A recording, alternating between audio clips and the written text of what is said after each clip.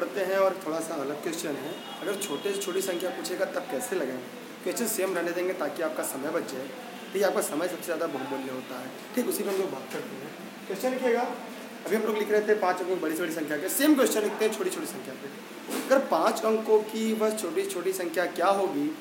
जो अट्ठारह चौबीस सौ तीस से भाग देने पर पूरी तरह विभाजित हो जाए। बताइएगा आप लोग। पाँच अंक की वह बड़ी से बड़ी संख्या क्या होगी? जो अट्ठारह चौबीस और तीस से भाग देने पर पूरी तरह विभाजित हो जाए।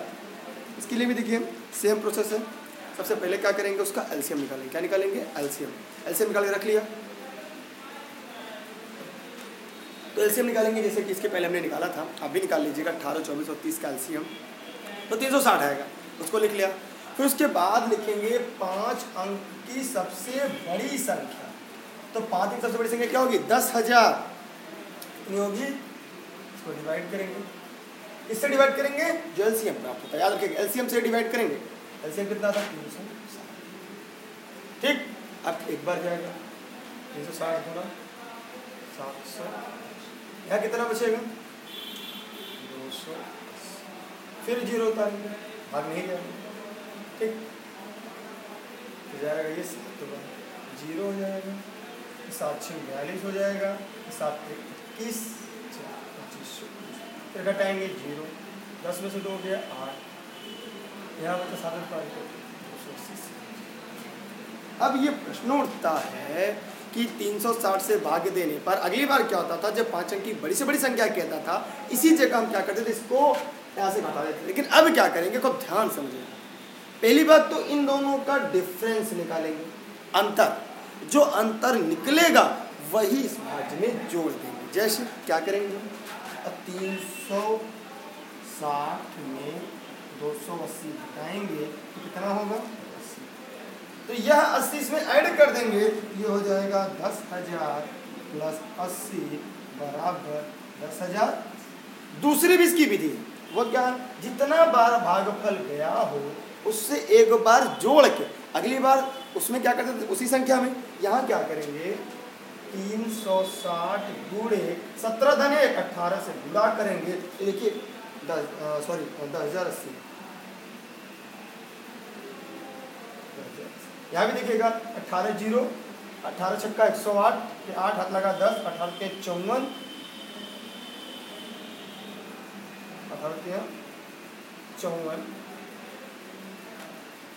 अठारह ये हो जाएगा सत्रह प्लस एक अट्ठारह जी। सॉरी यहाँ पे सत्रह नहीं, सत्ताईस होगा ना, दो बार जाएगा।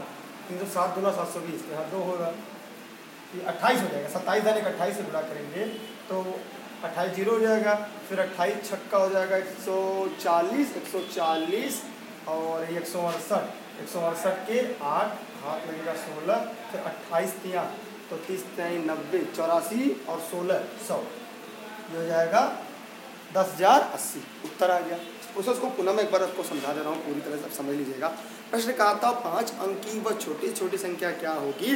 जिसको अट्ठारह, चौबीस और तीस से भाग देने पर भागफल पूरा लग जाए या पूरी तरह से विभाजित हो जाए। सबसे पहले हम लोगों ने क्या किया? अट्ठारह, चौबीस और तीस का क्या निकाल लिया? एलसीएम निकाल लिया। अट्ठारह, चौबीस, तीस का एलसीएम लैसा निकाला, वो प्राप्त हुआ तीन सौ साठ। जब तीन सौ साठ प्राप्त हुआ देखिए हमने लगाया है, तीन सौ साठ प्राप्त हो गया। अब आगे क्या करते हैं? आगे दस हज़ार में तीन सौ साठ से भाग देंगे। तो सत्ताईस बार गया, दो सौ अस्सी शेष बचा। और जब बड़ी संख्या पूछता था तो शेष को ही घटा देते थे। लेकिन यहाँ क्या करेंगे? भाज्य शेष का जो अंतर होगा, तीन सौ साठ में से दो सौ अस्सी घटाएँगे, जो शेष बचेगा, उसको इसमें जोड़ देंगे। जो प्राप्त होगा, वही पाँच अंक की वह छोटी छोटी संख्या होगी, जो अठारह, चौबीस, तीस से पूरी तरह विभाजित हो जाएगी। दूसरा तरीका क्या है? इस जितनी बार भागफल गया है उसे भाजक में गुड़ा करेंगे, एक बढ़ा। क्यों? क्योंकि इतने से गुड़ा करेंगे। तो बता क्या बनेगी? तब वो बन जाएगी। चार अंक की सबसे बड़ी संख्या। लेकिन पाँच अंक का पूछा है। क्योंकि जैसे ही गुणा करेंगे, क्या हो जाएगी? या इसको घटा देंगे, तुरंत ये बन जाएगी पाँच अंक की सबसे बड़ी संख्या। चार अंक की। लेकिन हमें करना क्या है? इसमें एक बढ़ा के गुणा कर देंगे, जो प्राप्त होगा, वो उत्तर हम यहाँ लिख देंगे। ठीक? समझ में आ गया? चलिए, आगे अब लिखिएगा इसी आधार पर प्रश्न को जोड़ने घटाने का आधार पर लिख लीजिएगा तो थोड़ा समझ में आ जाएगा। पाँच अंक की वह छोटी से छोटी संख्या क्या होगी जिसको, पाँच अंक की छोटी छोटी संख्या क्या होगी जिसको अठारह, चौबीस, तीस से भाग देने पर प्रत्येक दशा में सात शेष बचे। पाँच अंक की वह छोटी से छोटी संख्या क्या होगी जिसको अठारह, चौबीस और तीस से भाग देने पर प्रत्येक दशा में सात शेष बचे। तो सबसे पहला काम वही करेंगे। सबसे पहले हम क्या निकालेंगे? एलसीएम निकालेंगे। तीन सौ साठ आया। तीन सौ साठ के पाँच अंक की बड़ी छोटी छोटी संख्या का है, जो बड़ी बड़ी का, जो भी कहेगा, उसको लिख के भाग देंगे। अगर छोटी छोटी संख्या का है तो 360 से दस हज़ार में भाग देंगे। दो सौ अस्सी शेष आएगा। उसके तीन सौ साठ, दो सौ अस्सी अंतर को घटाएँगे। अस्सी को भाज्य में जोड़ देंगे। अथवा सत्ताईस में एक जोड़कर अट्ठाईस से तीन सौ साठ में गुणा करेंगे। फिर आएगा दस हज़ार, अस्सी फिर क्या रहा, प्रत्येक दशा में सात शेष बचे। तो जब जानते, जब जब शेष बचने की बात कहेगा, तब तक क्या करेंगे? सात उसमें ऐड कर देंगे, सात उसमें जोड़ देंगे। ठीक? समझ में आ गया? कोई समस्या? ठीक। चलिए, और आगे बढ़ते हैं तब। फिर उसके बाद आगे बढ़ेंगे। उसके बाद क्या कह रहा है कि साथ जोड़ देंगे तो उत्तर कितना हो जाएगा आपका? दस हज़ार सत्तासी। इसमें सात ऐड कर देंगे दस हज़ार अब जब जब इससे भाग देंगे, अठारह, चौबीस, तीस से, तब तक प्रत्येक दशा में सात शेष बच जाएगा। ठीक? आगे क्वेश्चन बोला जाए। समझ में आ गया? चलिए। क्वेश्चन लिखिएगा। पाँच अंक की वह छोटी छोटी संख्या क्या होगी, जिसमें तीन जोड़ देने पर, जिसमें तीन जोड़ देने पर, वह अठारह चौबीस और तीस से पूरी तरह विभाजित हो जाएगी। तो सेम प्रोसेस है सेम तरीका इसी तरह से आपको लगाना है। उसके लिए क्या करना होगा? उसके लिए एक बार पहले ट्राई करिए उसके बाद नहीं आता है फिर हम आपको बताएँगे कैसे लगेगा। ठीक? अब लगाते भी रहिए और आ, आपके पास ढेर सारे व्हाट्सएप ग्रुप भी होंगे ऐसा नहीं है कि नहीं होंगे। तो आप इसको शेयर भी कर दीजिएगा। बहुत सारे लोग इसको पहले लाइक करेंगे पता नहीं क्या उनको मिल जाता है ठीक है? लेकिन अच्छी बात है उसमें वीडियो देखते तो हैं आप इसको शेयर कर दीजिएगा ताकि और लोगों को और प्रशिक्षुओं तक ये पहुँच जाए और जो इनको तक पहुँचाना है, बाकी आप तो पढ़ ही रहे हैं। ठीक है? तो आप इसको निकाल लीजिएगा। फिर सेम प्रोसेस क्या करेंगे? पहले एलसीएम निकालेंगे। एलसीएम आएगा तीन सौ साठ। फिर लिखेंगे जितने अंक की संख्या, क्या आएगा? पाँच अंक। का छोटी संख्या, पाँच अंक की छोटी संख्या लिखेंगे। फिर तीन सौ साठ से भाग देंगे। सब जितनी बार जाएगा, शेष बचेगा। शेष और भाजक के अंतर को घटाएँगे। ठीक? जो अंतर निकलेगा, उससे इसमें जाके जोड़ देंगे। तो फिर दस हज़ार अस्सी मिल गया। क्या रहा जोड़ देने पर तीन तो तीन वही घटा देंगे। जोड़ने कहेगा घटा देंगे, शेषफल कहेगा तो जोड़ देंगे। जैसा कहेगा उसका ठीक विपरीत करेंगे। तो तीन हम इसमें से घटा देंगे तो तीन घटा देंगे तो हो जाएगा दस हज़ार सतहत्तर।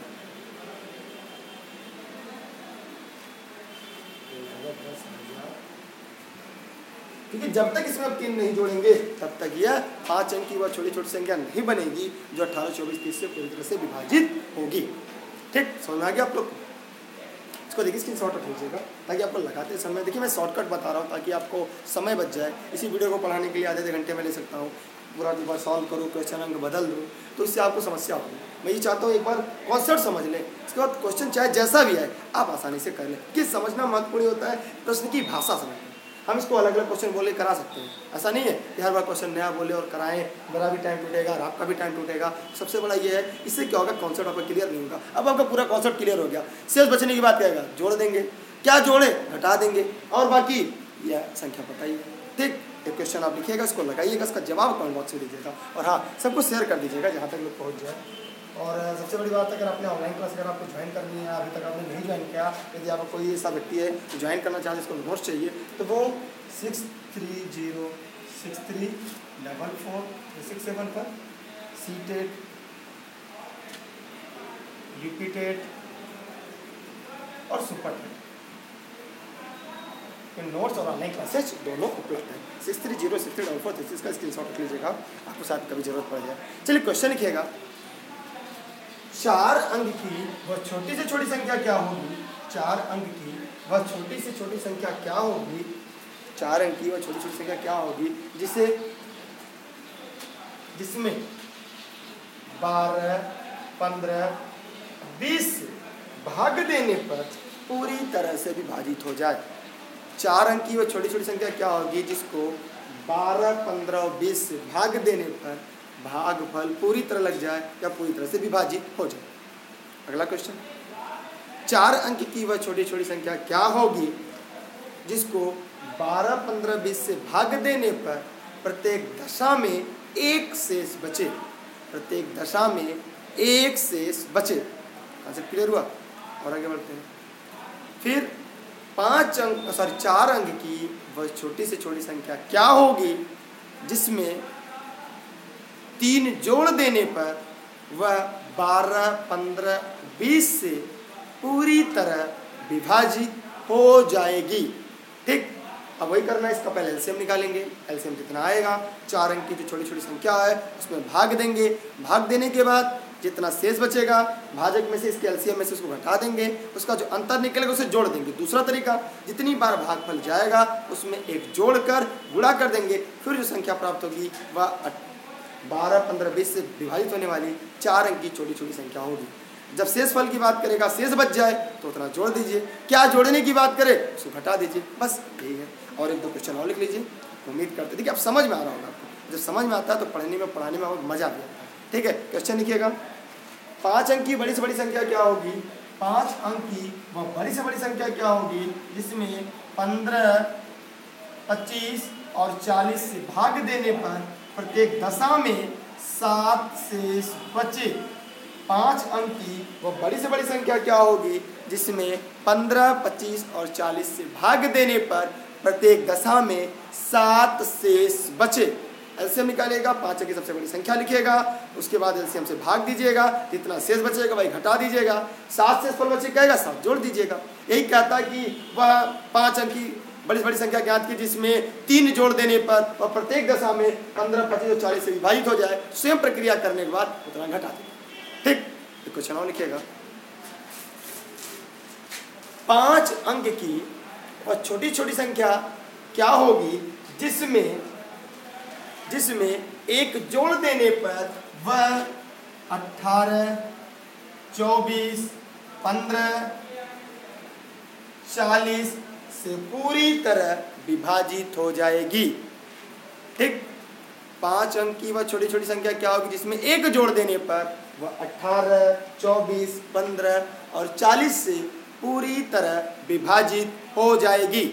ठीक? समझ आ गया? इसमें भी सेम तरह का प्रोसेस है, ज़्यादा कुछ मेहनत नहीं करना है आपको थोड़ा सा दिमाग लगाना है और जैसे ही थोड़ा सा दिमाग लगाएँगे, सारा कॉन्सेप्ट अपने आप क्लियर हो जाएगा। और ये यूपीटर सुपर क्लियर राम बाण है पूरा, कि जो मैं पढ़ा रहा हूँ कॉन्सेप्ट ये पूरी तरह से राम बाण। ये छोटी छोटी संख्या बताया, फिर बड़ी बड़ी संख्या बता फिर दोनों मिक्स करके आपको सवाल बोल दिए। अब इसको लगाइएगा और जवाब आप कमेंट बॉक्स में दीजिएगा।